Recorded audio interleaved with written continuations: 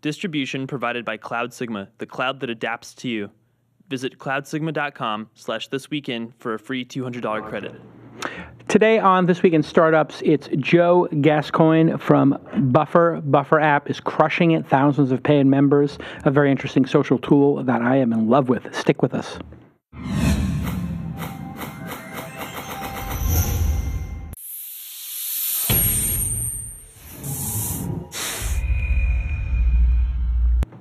Hello, everybody. Hello, everybody. Welcome to This Week in Startups. This is our Startup of the Week special. This is our like half hour program where we find a new startup, a startup that maybe is six months, 12 months, 18 months old, no more than that probably. Somebody new, under 10 people, maybe they've raised their A round, probably more likely they've raised their angel round. And we like to feature what they're doing, what they're building. So it's not going to be like a big three hour Chris Sacca insanity just hey, tell us what you're building and why, and then maybe we'll get into entrepreneurship a little bit. It's our way of keeping you up to date on cool stuff we find. It could be the top story on uh, Techmeme or Launch Ticker or TechCrunch or All Things D or Pando Daily. Um, we found it there, or it could be one of the top startups uh, featured on AngelList, or it could be something that one of my one of my angel friends uh, told me about, or I got pitched on. That's basically what the program is. I got a good one last. I had dinner last night with a really good one. Oh, really? Glad it did. Hmm. Really will good. qualify for this program. Oh yeah, it's really good.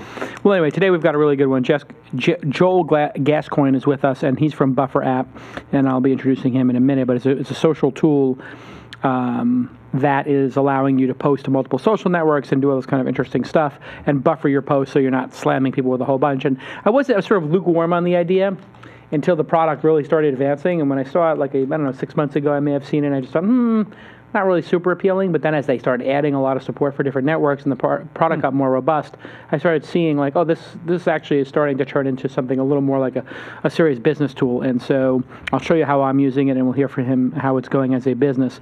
This show, speaking of business, is. Um, really been conceived of and brought to you by our friends at SendGrid. They are the reason the startup of the week exists, and they are the industry leader. They're a startup themselves in transactional emails. What's transactional email? You know what it is. That's when you get an email saying, "Hey, you signed up for Buffer. Hey, you signed up for Pandora. Hey, you signed up for Pinterest. Hey, you signed up for Foursquare. Click, click here to activate your account." Or Oh, you got some kudos on Foursquare, or your friend checked in here, or your friend friend added you as a friend all those important messages that you get on your email that then pull you and seduce you back into using the program, the software, the service that you've built. You spent all this time, tens of thousands, hundreds of thousands, millions of dollars building software, programs, and services to delight your customers. And then that transactional email comes in. You reset your password. You got a message from somebody. You got a badge, all that important stuff. If you don't get into people's email box right at the top, what happens? If it goes into the spam folder, they don't see it, you lost the customer. All that time building millions of dollars in product development, hundreds of thousands of dollars in product development, out the window. You lost the customer. That's why you need SendGrid sending email sounds like something very simple, right? Yeah, sure. You could hack together a mail server to send some mail, probably in a couple of hours. But then, oh, the spam filters. Okay, now it's a couple of more days of development to try to get past the spam filters. Oh, and now they changed their rules. Now it's a couple of weeks. Oh, you got on a blacklist. Now it's a couple of months. Now you got to figure out who's the person you talk to at Google, Yahoo, AOL, all these different mail providers to get off the blacklist. It is basically going to take you down um, as a service you want to use SendGrid for email delivery that is super simple uh, and works flawlessly.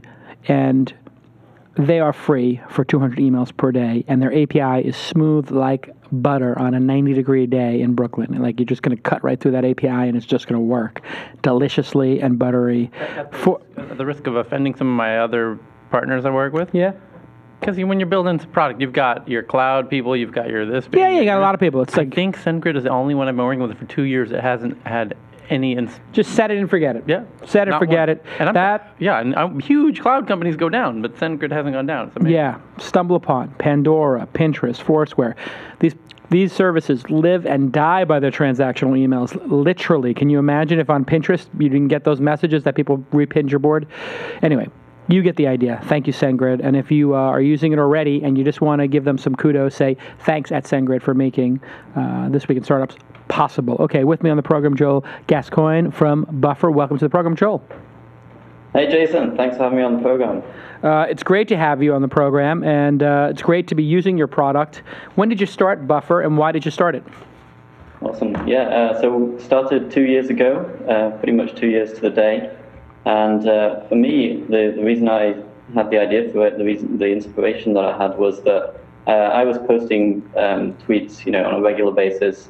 Um, I was posting interesting blog posts I found, um, you know, quotes from uh, people in the space.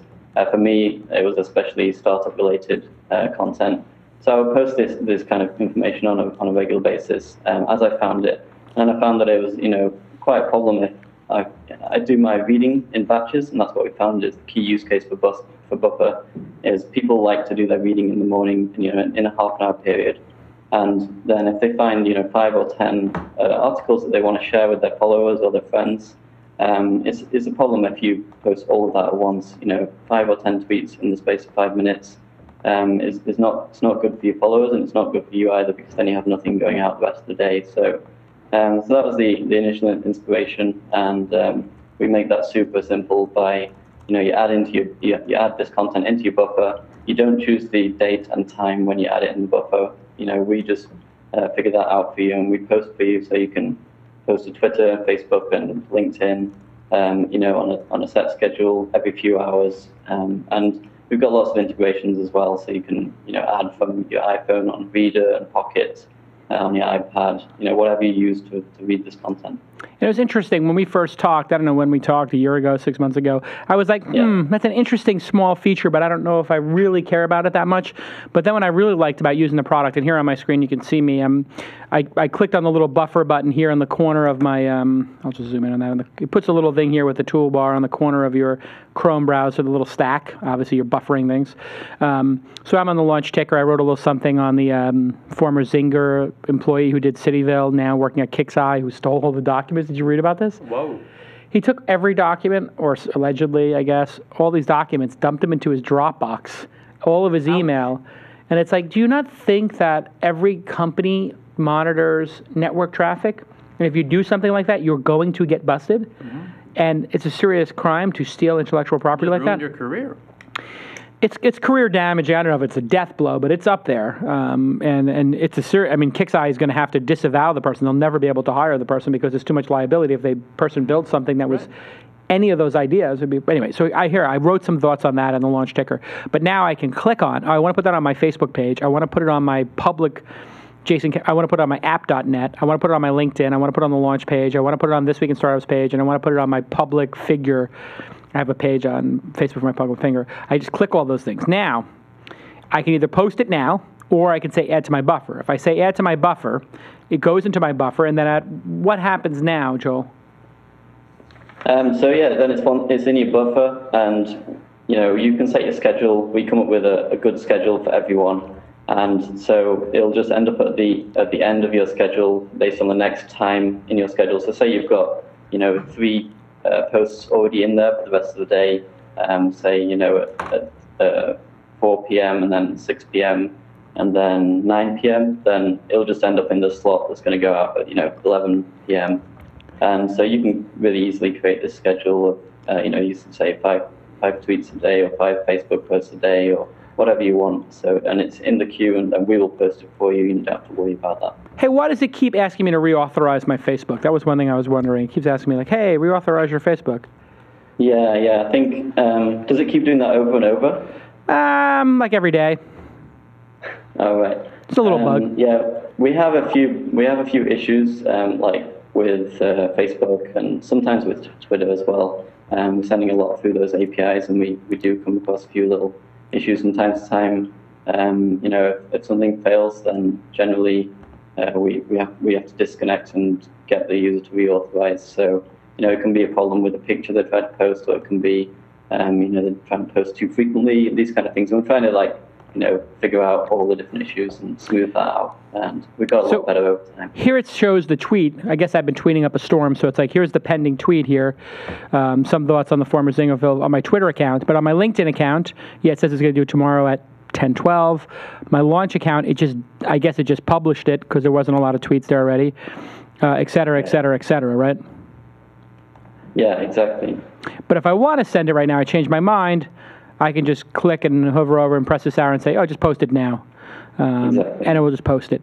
So do you think people are using this because it's um, the buffering capability, or do you think they're doing it because they just like the cross posting kind of stuff in the analytics? Yeah, I think yeah, exa- exactly. You've, you've you know got the two key benefits we offer right there. I think um, initially it was the, the key thing was the buffering, um, and uh, over time we found that really people really love the cross posting, especially with the integrations we have. Um, for example, in Reeder, if you you know use Reeder on the iPhone um, to read your RSS feeds, um, there's nothing that they had previous to Buffer that you could actually do all this cross posting. So you'd have to go to Twitter and Facebook uh, separately in their sharing options. Now you can just go in and select all the accounts you want to share to in Buffer. So that, the cross posting is definitely a, a big one for people. So now, instead of people putting a Google plus one or a tweet button, I mean, I'm sure they'll put that in as well. Somebody like WordPress or um, uh, Firefox or Pocket Reader, they can add. You can add a. Um, you can add a buffer button there, or they've already added it, I guess, in some cases. Yeah, exactly. So, um, you know, we're, we're lucky to have, we've got Pocket on board. Um, that's a really good integration we have on iPhone and iPad.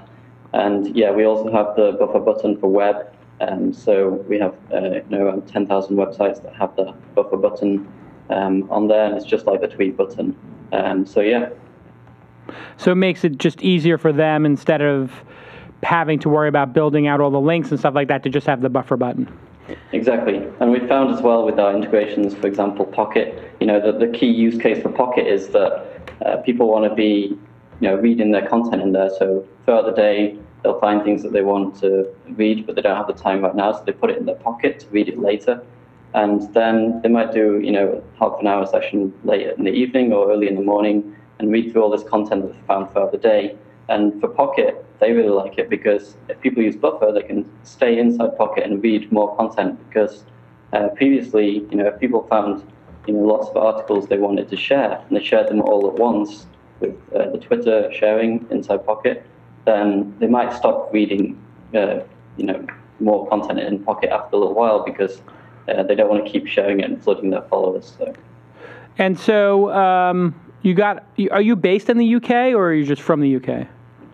No, it's an interesting one. I- I'm from the UK. We started in the UK. First ten months we were in the UK, and then uh, we've been we were out in San Francisco for six months, where we went through AngelPad, and we closed our seed round. That was last year, and then we didn't get visas, so we ended up traveling around, around the world. Basically, we spent time in Hong Kong and Tel Aviv, and some cool startup scenes there. Now we're back in San Francisco, so I'm, speaking to you from San Francisco today, and we're um, here longer term now.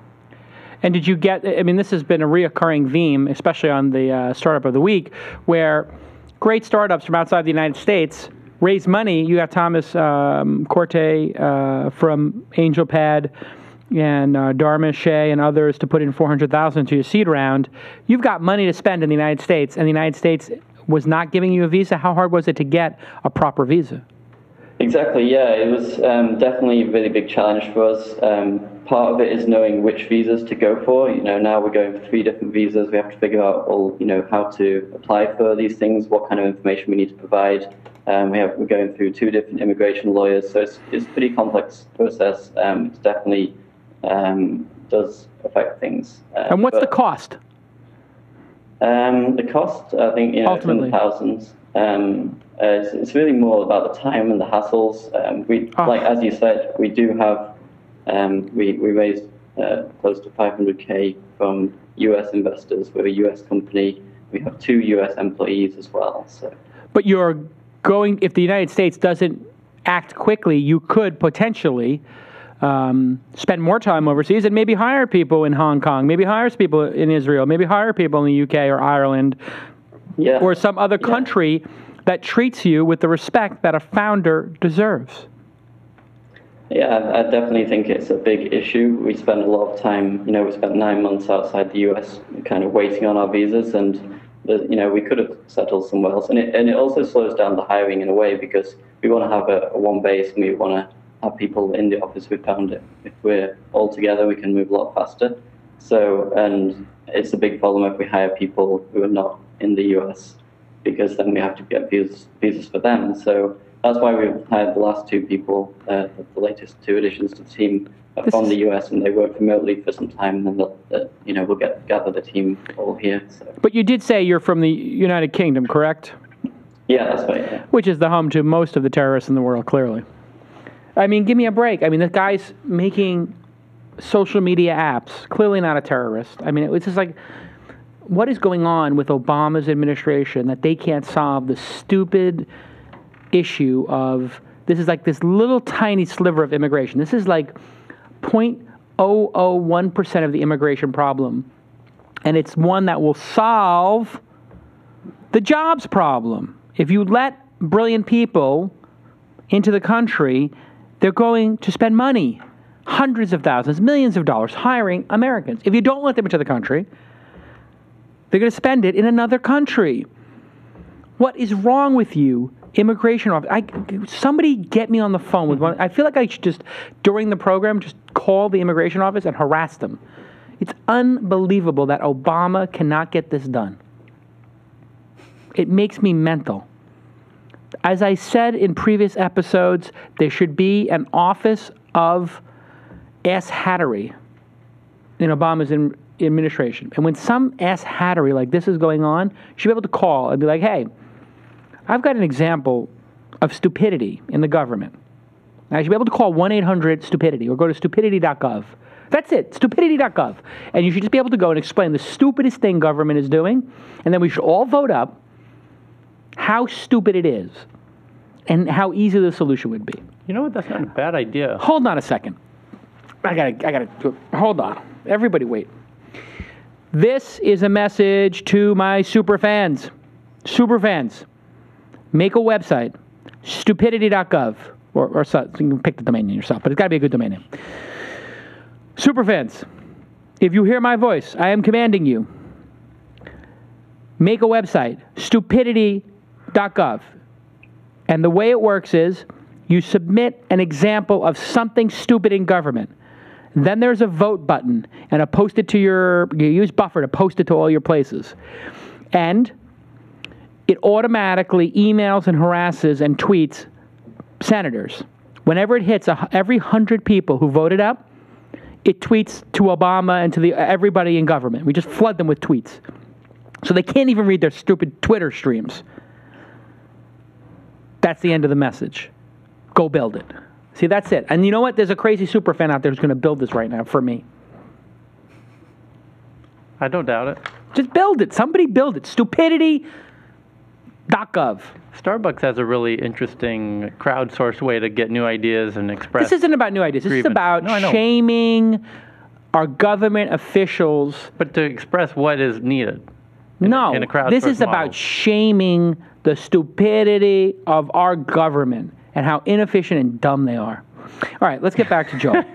so, Joel, um, how on earth did you get the attention? Because we just had this happen on an Ask Jason recently. Somebody was from another country and they were complaining, and kind of had, I want to say complaining, but there was a little bit of a whiny tinge to it. Like, how do I get the attention of the, the U.S. investors? How do I get my company taken seriously? I'm from Europe. Nobody takes European startups seriously. You were able to do it. How? Um, so I think the key thing we had going for us was our traction. So um, we reached ramen profitability. You had enough for me and my co-founder Leo to get by, and that's the point when we jumped on a plane, came to San Francisco, and got chatting to people. And then that's when we discovered AngelPad and we applied. And I think it was definitely our traction that was very attractive to them.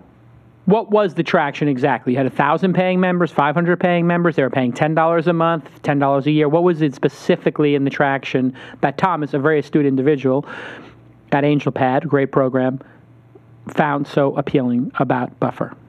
Yeah, at the time that we applied, we had uh, 25,000 users overall and uh, paying customers. We were making about 4K a month uh, US revenue at that point, um, but we were also growing 10% week over week. Uh, so that was definitely the key thing. Ah, and now where is it? Um, so now we're at uh, 350,000 users overall. Um, we still have a good conversion, about 1.6, 1.7% pay. So we have close to 6,000 users right now. And the paid plan is $10 a month. So it's just a simple freemium model. You're making almost a million dollars a year, Yeah, we're close to a million dollar run rate now. and you've got five employees. Uh, we're seven now. So you Uh, break yeah. you break even. Even with all this, you're basically breaking Yeah. even. Yeah, yeah, we, we break even and um, we have most of the funding still in the bank, uh, but we're expanding the team pretty quick now, now that we're back in San Francisco. Uh, let's face it, um, the app is elegantly simple, which means easy to copy. And in fact, you're not the first person to make software like this. You're probably the 10th or 20th. Why is it that you feel you're succeeding so well when those other apps, I would say, meandered? Yeah, that's a really interesting one. There's definitely been, this has been done a few times. Um, there was uh, other startups that came out at the same time as us. I think one of the key ones is um, that we had a strong content marketing approach. That was really, really key. So we What does that mean? Content So we, we so we did uh, we did blogging ourselves, and we did guest posting for other people, and then so we built a very good relationship with uh, bloggers, with the press. Um, we managed to have a very consistent schedule of um, being in other blogs with with the product and being in press very very regularly. And then it was just yeah, kind of a key focus on that side, and then building out the product as fast as we could. And I think one of the key things we have now that differentiates us is this approach with the integrations. So the key thing I see is that um, for us to help people share more effectively, we need to be where they read that content. So there's a lot of other tools out there that try and get the users to come into their product all the time. So you know you see something and then you have to bring that article in and, and share it. And it's, it's not very convenient. So that's why we're really working hard on these integrations to be in you know wherever you read that content, uh, we'll be there so you can just share it as well. But if I hit the buffer button, I have to log into buffer. So, you know, as opposed to say the Facebook or the the, the um, Twitter button where I'm probably going to be logged in already. So, if you add it, you have to add it. It's not replacing the Facebook or the Twitter button right now. Yeah, that's true. Um, though luckily with the integrations, we've made it super seamless, so you can actually sign in with Twitter or Facebook to, to sign up to Buffer, and there's no there's no other steps. Um, and so, what's the future of the business? Do you think? I mean, what's the what's the size that this business can become? Because, let's face it, again, there's basically two features here. The I think the analytics and uh, the buffering, and maybe the cross posting, I guess. But there's a lot of cross posting after that. So you you've got a small set of features here. Does that mean there's a small audience, and that you have to really ramp up and add other features quickly? I mean, do you ultimately become like Radian6 or um, you know, like an industrial strength social app like Hootsuite or Radian6, or are you going to be more on the sort of lightweight individual user side? What, what do you think is the future of Buffer app? That's a really good question. I think um, our, our key focus is to like kind of become ubiquitous in the medium term. So really, that's the integrations is what we're completely focused on. Um, we're seeing all kinds of different users. So we're seeing consumer users, um, individuals. We're seeing people with small businesses, and we're seeing people in between that where they, you know, there might be a photographer or something. They've got their thing, anything they're trying to promote, and this is uh, growing very, very fast. And then we also have um, much bigger companies. We have uh, Mailchimp users regularly, ReadWriteWeb users, uh, Wired Business are using us. So we have like the full range, and I think um, keeping it simple will, I, I, I believe that can work in the longer term um, to just become uh, very widespread. And I think we can keep growing in this way um, just with a very simple paid offering. Maybe further down the line, I, I think there's um, interesting options open up when we, you know, when we get into the millions of users, and um, we, um, maybe then at that point we can think about adding more on the business side. There's many different directions we could go at that point. But right now, um, you know, we're close to a million dollar run rate just based on 350,000 users. So we're lucky because we can get to the millions of users and still, you know, with a kind of low number of users for a product that is kind of in the social space, we can have very strong revenues. Well, listen, I you know I was uh, I wasn't super impressed with the product when I first saw it, but you were very consistent in sort of keeping me up to date on the progress. And I really think that you're a great entrepreneur and a great emerging entrepreneur because you've been very persistent in uh, pursuing this idea and keeping people up to date on it. I think there's some real lessons here as to what Joel did in terms of staying in touch with people and showing demonstrative growth in the program. Every couple of months, you'd email me or tweet me, "Hey, here's where we're at. We're get, making progress." And it, you must have read Mark Suster, the host of This Week in Venture Capital's post on connecting dots, correct? Yeah, yeah, connecting backwards, right? Yeah, and so people look backwards, and I look at Joel, and I'm like, Kieran was like, "Well, uh, weren't you kind of dismissive of like Joel's idea when?" Because I was like, "You got to get this guy on the program. This is great." So weren't you dismissive of the idea when it started? I was like, "Well, I, I, hope I wasn't dismissive, but I think I did tell you frankly, like I think this is just like one feature. What's the big picture here?" Yeah, yeah. I think I mean we're seeing that a lot. Is now we're seeing some really interesting entrepreneurs uh, signing up for Buffer. We we have a way to see, you know, someone influential like yourself, you, you pop up on our on our radar. So we're seeing people that uh, didn't necessarily necessarily see the value before, but like you say, we're we're adding these integrations fast, and we're really uh, making it much more solid now. So I think it it makes sense. I think your decision back then, you know, made, made a lot of sense. But we just keep pushing, like you say, and uh, very regularly we try and be on everyone's radar, keep everyone up to date, and uh, I think sooner or later, like that's our thinking is that sooner or later, everyone will gradually kind of figure out that it can be very useful for them. Yeah. Well, listen, continue success. You have any questions, Tyler, or anything? Nope. Any insights? You use Buffer? Not yet. Not yet. Not yet. You will after this. Here, my, I do have a question. You do? Okay. And it's a it's a ball buster question for you. But well, we expect nothing less. Affectionately. Um, who was it? I think it w- was it Sacca, perhaps, on who was kind of down on Klout, right? He's always been taking the position that he didn't want to be in Klout. He didn't like the idea of scoring people. Right, but he feels everybody should be equal. So I think the, while he respects right, but at, what they've accomplished, he doesn't agree exactly with this methodology of having the number out there, but I think it's also a little bit of protectionist. But there was also it's just a stylistic yes. thing he doesn't like. But he's learned to appreciate it. Sure, but there's an element of it that he doesn't like, which is it affects how people use the service, Twitter. Right. That's exactly what I said. Yeah. Would, now people are putting out quotes. Right that they hope will be retweeted, or replied to. Like, so if I ask, "What are you going at for Halloween?" or "What did you think of the debate?" I get hundreds of people reply to me, mm-hmm. and I get an extra point of Klout. Mm-hmm. But I really actually didn't want to ask that question. I'm asking it to optimize my Klout. Right, and you might not say things that you normally would, and whatever. You become inorganic in how you use it. Right. So my that is my question: is how have you got any hint from the social networks about how they feel about the service? About Buffer? Yeah. None, none. I mean, it, it, it's just the cross posting and stuff like that. And I think people not, I mean, I've gotten a lot of complaints. I played 20 questions as to what would be my mm-hmm. Halloween outfit mm-hmm. the other week, and people got really upset. Like, somebody's like, now I'm going to unsubscribe from you because you flooded my feed. And I was like, ban. You know, like, I really mm. don't want somebody who's going to be nonsensical. It was a fun game of 20 questions and you're not following enough people that my, you know, 15 responses flooded your Twitter account, but, you know, like flooded, who cares, you know? So mm. I don't think, I think this sort of helps because, as Joel was saying, if you're reading the news in the morning, like I'm reading the ticker. I, when it happens, I do it bursty. I go to the ticker, like in between shows, in between meetings. I write 10 comments, and then I want to tweet three or four of those. But I don't want to do them back to back. I want people to have time to read it and then come back to my Twitter feed or whatever. So I just buffer them now, and then every two hours they go out. Hmm. It works so much better. People don't see four in a row.